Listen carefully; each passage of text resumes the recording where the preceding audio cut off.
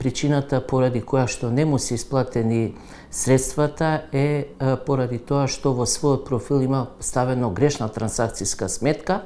Значи потребно е обврзникот, а и останатите обврзници да си ги проверат своите трансакцијски сметки и во апликацијата Мој ДДВ во делот профил да си ажурираат својата трансакцијска сметка. Инаку парите се наоѓаат на нивниот профил, така да со секое ажурирање ќе со вонредна исплата ќе им бидат исплатени на обврзниците.